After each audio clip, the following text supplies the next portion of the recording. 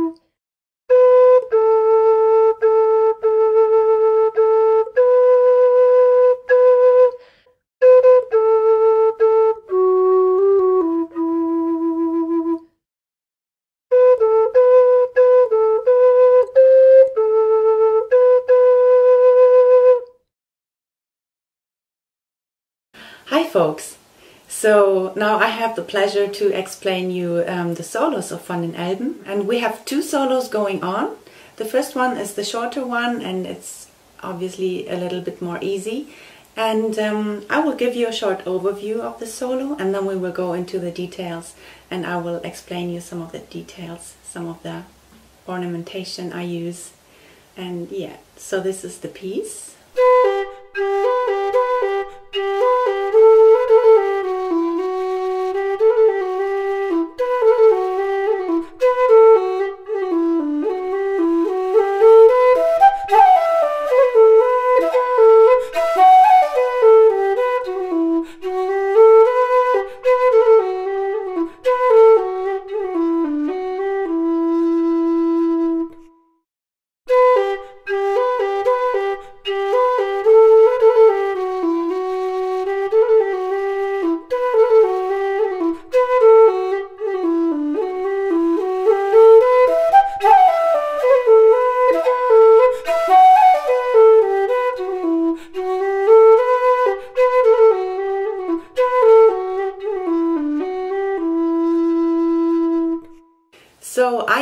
Basically three different ornaments in this solo. The first one is, um, yeah, pretty easy. It's vibrato.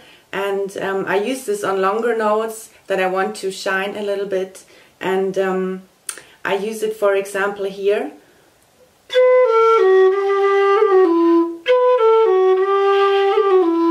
And what I do is I, um, I use this finger or sometimes even this as well and I um, I lift them shortly over the tone. I don't I don't really close the holes. I just lift them a little bit and let them flutter so the tone gets this vibrato um, appeal to it. And um, the second ornament I like to use a lot are trills. For example, when we come to this little um, part,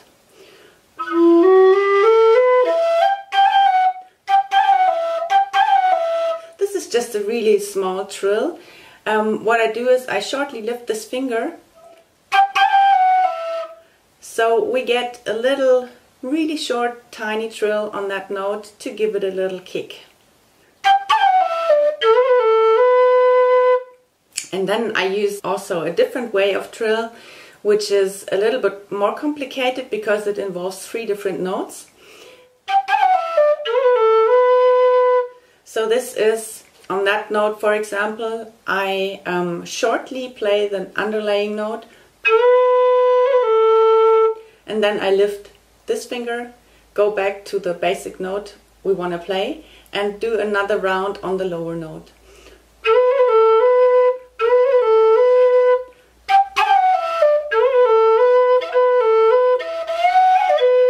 Oh yeah, there's another ornament I love to use and this is what I call a slide glissando you could also say.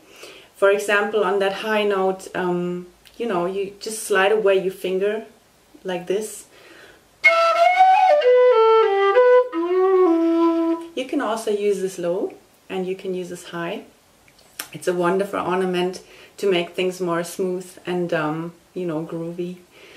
So yeah, this is basically the ornaments I use in that solo. And now we want to have a look at the second solo. I will play it to you and um, then we go into details again. So have a listen.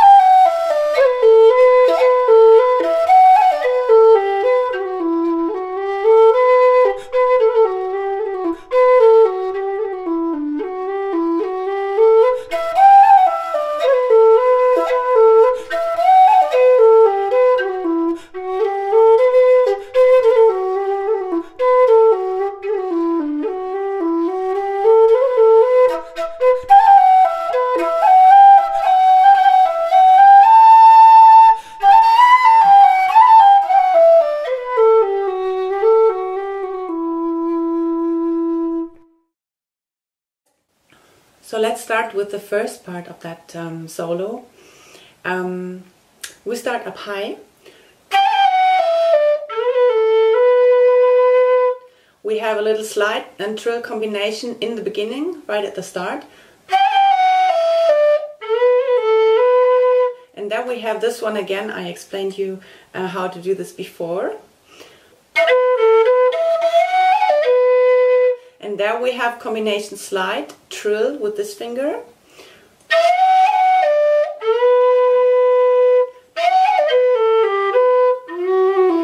And again a combination slide and trill to finish up the melody low.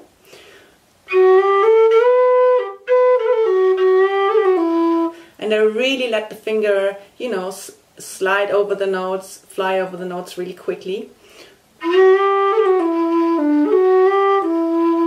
When I start, for example, this note, I use this little um, in-between note by just lifting that finger really quickly.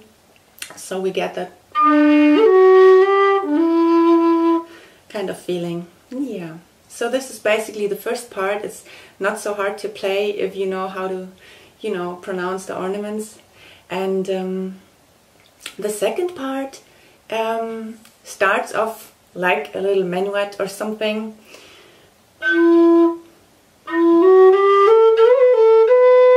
So then we have again the combination trill and slide.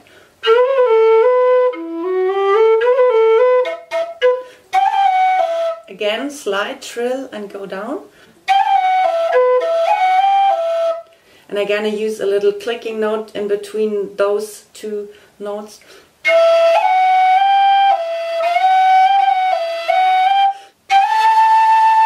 There I use a little vibrato again.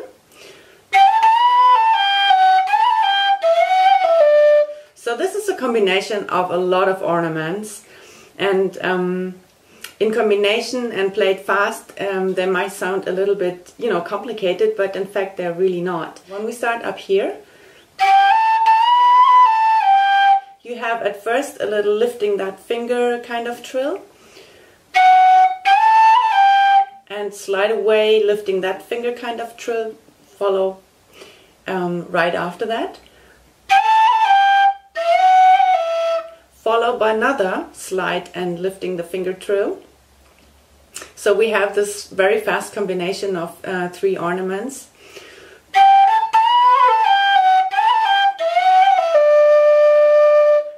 No, and um, going down again.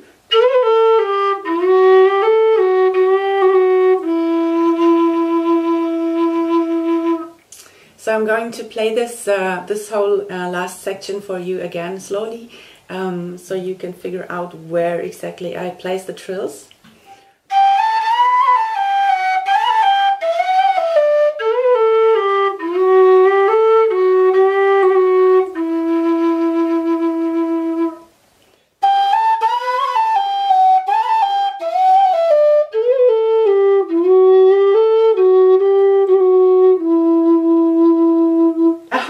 Explanations you find a way to figure it out yourself.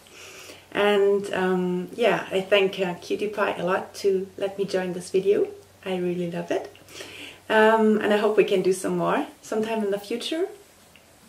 And yeah, have lots of fun playing. And um, if you have any questions, you can also write me, visit my website and, you know, ask me stuff about Faun pieces if you like.